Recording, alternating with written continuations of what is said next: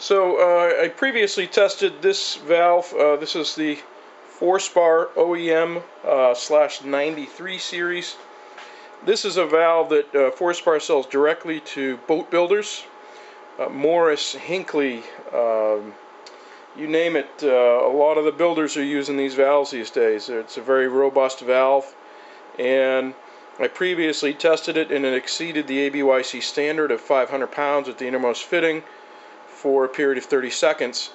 Uh, but uh, people have wanted to see where this valve actually fails, so that's what I'm going to do today. Uh, kind of uh, just a, a, precursor, this valve has previously been, been loaded up to 500 pounds, so uh, if anything, it may previously have been weakened uh, during the testing, but we'll see how she does today.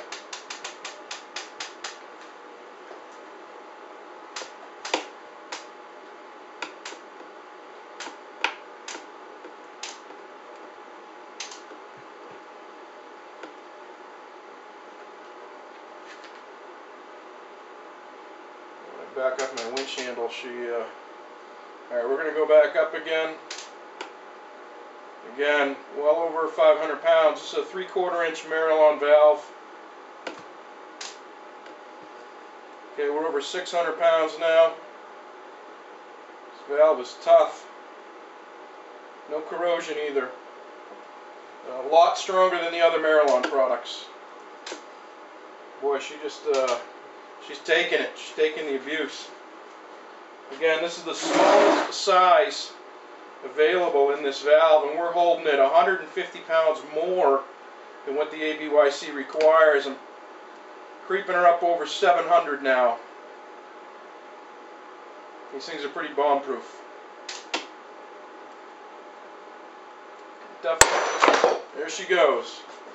And the good news is I did not get hit with it. So, where did this valve fail?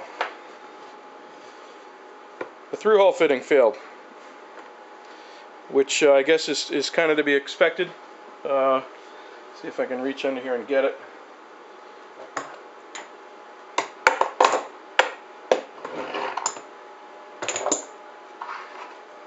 The area where the through hull uh, joins there is what finally gave way, uh, but you know, as we could see in the video, we were the valve never failed. That is a extremely robust valve. And one thing that I find quite interesting is that this whole valve assembly is held together with four machine screws tapped into the plastic. Um, but the valve never failed, which is uh, quite impressive. Uh, we didn't distort any of the threads here. This thing is threading out just uh, as you would expect we just broke the through-hull fitting. And it should be noted, this is this is a special through-hull fitting specifically for these valves. And while this is called a three-quarter inch valve, uh, it's not really a, a full flow three-quarter inch valve. This is a bronze three-quarter inch Seacock, or through-hull rather, and this is a the Marelon OEM series through-hull fitting.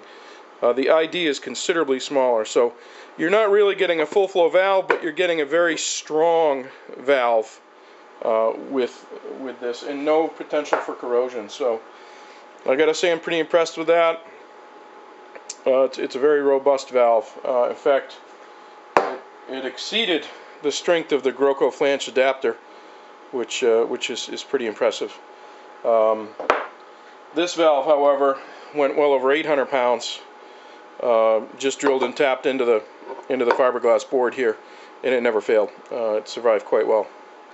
So there we have the uh, Marelon failure point of the OEM 93 series. Uh, and hopefully that caught on, on video before the valve knocked it off, the failure point.